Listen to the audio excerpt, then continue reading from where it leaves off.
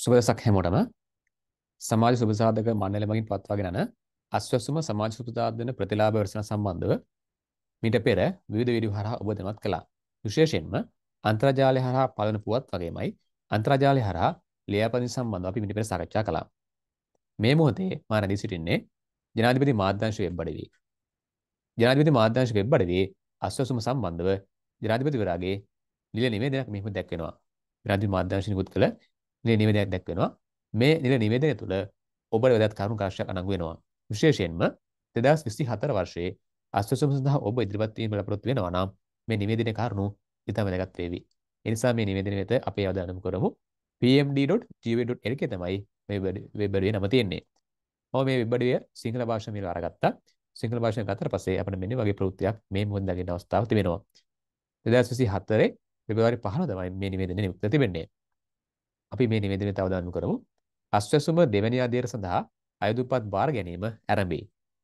මාර්තු 15ට පෙර අයදුම් කරන්න. අයදුම්කරුවන්ගේ ජාතික හැඳුනුපත් අංකය ඇතුළත් කිරීම අනිවාර්යයි. පළමු අධීරයේ සුදුසුකම් නොලැබුවන්ට තොරතුරු සනාථ කිරීමට අවස්ථාවක් ළඟදීම. මෙන්න මේ විදිහට ප්‍රධාන කාරණා තුනක් මෙහි දක්වා තිබෙනවා. විශේෂයෙන්ම ඔබ මාර්තු 15ට පෙර අයදුම් කළ යුතුයි. අස්වැසුම දෙවැනි අධීර සඳහා ඔබ අයදුම් කිරීම බලාපොරොත්තු වෙනවා නම්. ඒ වගේමයි පළමු අධීරයේදී තිබුණේ නැති වුණත් මෙවර අයදුම්කරුන්ගේ ජාති හැඳුනුම්පත අනිවාර්යක තිබෙනවා. ඔබ ජාති හැඳුනුම්පත් අංක ඇතුළත් කිරීම අනිවාර්යයි. ඊට අමතරව පළමු අධීරයේදී සුදුකම් නොලැබුව අයට තමන්ගේ තොරතුරු සනාථ කිරීමේ අවස්ථාවක් ළඟදීම ලබා දෙන බව මෙහි දක්වා තිබෙනවා. අපි විස්තරාත්මක මේ විස්තරය කියලා බලමු. අස්වැසුම දෙවැනි අධීර සඳහා අයදුම්පත් බාර ගැනීම අද 15 සිට මාර්තු 15 දක්වා සිදු කරන බවත් සුදුසුකම් ලබන සියලු දෙනාට අස්වැසුම් ප්‍රතිලාභ කිසිදු බලපෑමකින් තොරව හිමි වන බවත් සුබසාධක ප්‍රතිලාභ මණ්ඩලයේ සභාපති ජයන්ති විජේරත්න මහතා පැවසීය. අස්වැසුම් පළමු අදිර සඳහා අයදුම්පත් යොමු කර නොමැති පවුල් වලට මෙන්ම අයදුම්පත් ඉදිරිපත් කර නමුත් නිවාස තොරතුරු සංගණනයට ලක් නොවු ඕනෑම තරාතිරමක පුද්ගලයෙකුට අස්වැසුම දෙවැනි අදිර සඳහා අයදුම් කිරීමේ අවස්ථාව හිමි වන බවද ඒ මහතා සඳහන් කළේය. ඒ අනුව විශේෂ කාරණයක් අස්වැසුම් පළමු අදිර සඳහා අයදුම්පත් යොමු කිරීම නොහැකි වූ අයට ඒ වගේමයි අයදුම්පත් ඉදිරිපත් කළ නමුත් නිවාස තොරතුරු සංගණනයට ලක් නොවු ඕනෑම අයෙකුට අවස්ථාවක් තිබෙනවා මෙවර අයදුම් කරන්න. සුබසාධක ප්‍රතිලාභ මණ්ඩලයේ සභාපති ජයන්ති විජේරත්න මහතා මෙම දහස් පළ කර සිටියේ අස්වැසුම දෙවන ඇදිර සඳහා අයදුම්පත් බාර ගැනීම පිළිබඳ දැනුවත් කිරීම වෙනුවෙන් ජනාධිපති මාධ්‍ය කේන්ද්‍රයේදී අද පැවති මාධ්‍ය හමුවේදීය. අස්වැසුම දෙවැනි අදියරේදී පවුල් ලක්ෂ 24කට ප්‍රතිලාභ ලබා දීමට අපේක්ෂිත අතර එහිදී හැකියතාක් සත්‍ය හා නිවැරදි දත්ත ඇතුළත් අයදුම්පත් ඉදිරිපත් කිරීමෙන් ප්‍රතිලාභ ලබා දීමේ ක්‍රියාවලිය කඩනමින් කළ හැකි බව පෙන්වා දුන්නේ මහතා නිශ්චිත කාලරාමුවක් තුළ අස්වැසුම ප්‍රතිලාභ ලබා දීමේ අරමුණින් දෙවැනි අදියර සඳහා අයදුම්පත් යොමු කිරීමේදී අදමකරුවන්ගේ ජාති හැඳුනුපත් අංකය ඇතුළත් කිරීම අනිවාර්ය කර ඇති බවද සඳහන් කළේය. යවන මෙවර අනිවාර්යයෙන්ම ඔබේ ජාති හැඳුනුපත් අංකය ඇතුළත් කළ යුතුයි. අයදුම්පත් යොමු කිරීමේදී. ඒ අනුව ජාති හැඳුනුපත් නොමැති අයදුම්කරුවන්ට කඩිනමින් හැඳුනුපත් නිකුත් කිරීම සඳහා පුද්ගල ලියාපදිංචි කිරීමේ දෙපාර්තමේන්තුව විසින් විශේෂ වැඩසටහනක් ප්‍රාදේශීයකම් කාර්යාල මට්ටමින් ක්‍රියාත්මක වේ. ඒ වගේම එහි දක්වා තිබෙනවා ජාතික පද ඔබ නොමැති නම් ඒ ලබා ගැනීමේ කන්න වැඩි බිලක් මේ දිනවල ක්‍රියාත්මක කරන බව.